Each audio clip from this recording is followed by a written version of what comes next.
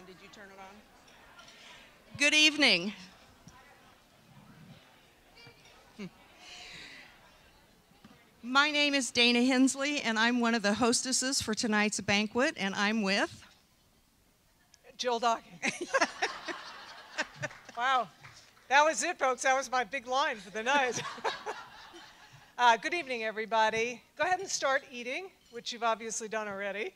Um, and I just want to, by the way, have everybody that was involved in putting this on stand up, please. Lynn, Mary, everybody. This has been an outstanding.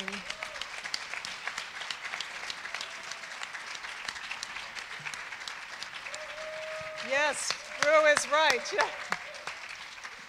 I mean, I heard not only great speeches today, I heard some wow speeches, and I'm getting pretty old to think things are wow anymore, and they were just terrific.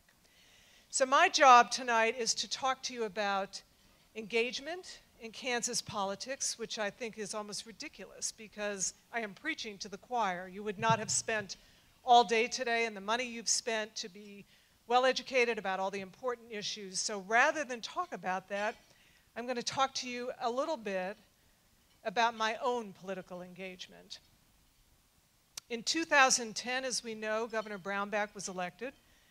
And he brought not only his ideas for the new experiment in with him, but a group of people who were going to support those new ideas. And by 2012, everybody here got what was going on. I think everybody here understood what was going to happen in 2010, but the state was beginning to move by 2012. And I had an opportunity to sit down with Paul Davis at one point just in a room, the two of us, and I remember saying to him, somebody has to do something about this. And we both, almost at the same time, said, You run for governor. and I knew I didn't want to run for elective office again after 1996, but I was willing to politically engage and help Paul, which I hope I was able to do. And when we started that process, I remember saying to Paul, the most important thing, Paul, is that we move the state of Kansas towards progressive values that have represented us through Democrats and Republicans for the last 40 years. We have to move the system, Paul. I said, but I got to tell you, not only do I think we're going to lose, I think we're going to get shellacked, like by 30 points. By election night, I thought we were going to win. It was the most remarkable movement of political power in the state of Kansas I have ever seen. And much of it had to do with each and every one of you sitting here, because this is one of those groups where I think I know almost everybody. You were all involved in some campaign, whether it was a gubernatorial campaign or a House race or just organizational efforts to move the system. You were involved with both Democrats and Republicans, which is what this group is all about, and I thought it was incredible. So when I wake up with kind of a dark film over my eyes, which I sometimes do after the Twitter stuff, and I think, seriously? Seriously, is this what we're talking about in this country? I think about the dark film my dad must have had and my mom living through the Depression my dad served in World War II. My dad was Jewish and was one of those individuals who got to walk into those early concentration camps. My dad was a court reporter at the Nuremberg trial. He lived through McCarthyism, he lived through all the Nixon difficulties. I think the most splendid thing about America is the power of self governing and the fact that democracy, I promise you, will come out on the other side of this.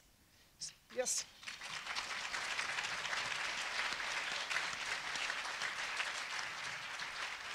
So, for all the times that you're worried, and I think we're all doing that, and for all the times we think, I always think to myself, oh my gosh, I started working on politics in Kansas with Tom when I was in my 20s. I'm in my 60s. It's been 40 years, but I got to tell you something, folks. I'm not dead yet. So,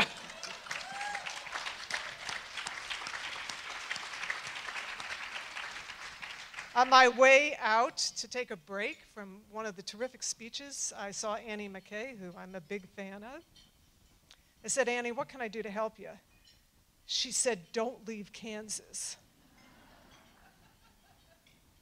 I said, I'm not leaving Kansas. I think Sam Brownback's gone, isn't he? I'm not leaving Kansas. So, my point to you is it takes a long time to move a, a ship.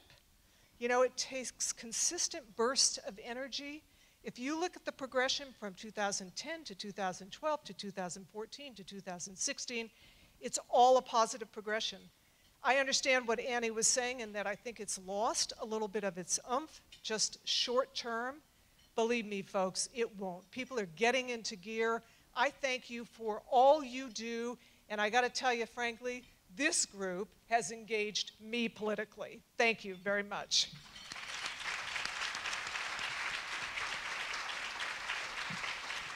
Thanks, Jill. They asked me to talk a, a, little bit about why women, and again, it's preaching to the choir, um, but the answer is very, very simple. Um, it is women who are often the ones to change a community, to change a state, to change a country, or to change the world for the better. From Sojourner Truth's extemporaneous speech, Ain't I a Woman, which explained in plain language why women are equal to men, to Florence Nightingale, who in the Crimean War changed the role and perception of nurses forever, to Emily Murphy, the first woman magistrate in the British Empire, who joined forces with four other Canadian women and marshaled the people to change a Canadian law that said that women should not be counted as persons. To Rosa Parks, who refused to give up her bus seat in Montgomery, Alabama, which indirectly led to some of the most significant civil rights legislation in American history, to Malala, the Pakistani schoolgirl who defied the Taliban to advocate the right to education.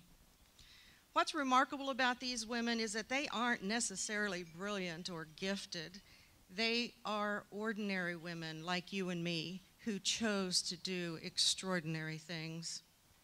It was one woman, a mom, who was sitting around her breakfast table and reflecting on the person who would always be absent from that point on at that breakfast table, who resolved that she was going to try to do everything in her power to make sure that another family didn't have to experience this absence. She started Mothers Against Drunk Driving that has forever changed our perception of drunk driving, raised the legal age of drinking, and most significantly has reduced drunk driving fatalities by 50%. And it's happening at the local level too. Two women that I know very well who were devastated at their children's inability to learn to read created Fundamental Learning Center the Wichita nonprofit that is the only accredited dyslexic training site for teachers and parents in Kansas, Missouri, Arkansas, and Nebraska. So let's not forget that the power that we all have within us, get involved in a political race, find candidates who share your values, and go to work for them. The distaste that so many of us, I think, feel about politics today can only change if women go to work. So I would now like to introduce Gina Austin Fresh, who is going to give us a few words. And following her comments, um, please enjoy your dinner. Jill and I will be back for the candidate forum.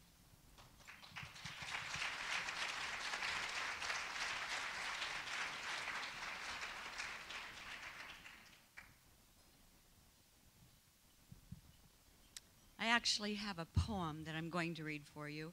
It's in your program, but you're eating, so I'll read it to you. It's called Merger Poem by Judy Chicago. And then all that has divided us will merge.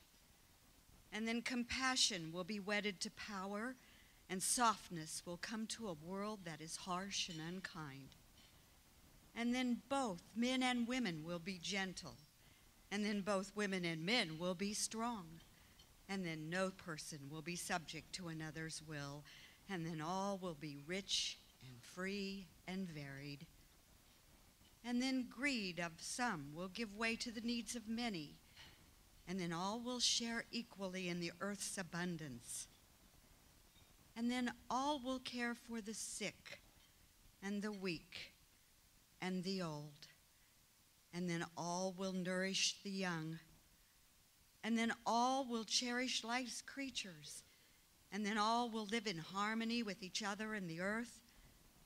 And then everywhere will be called Eden once again. Thank you. Enjoy your dinner.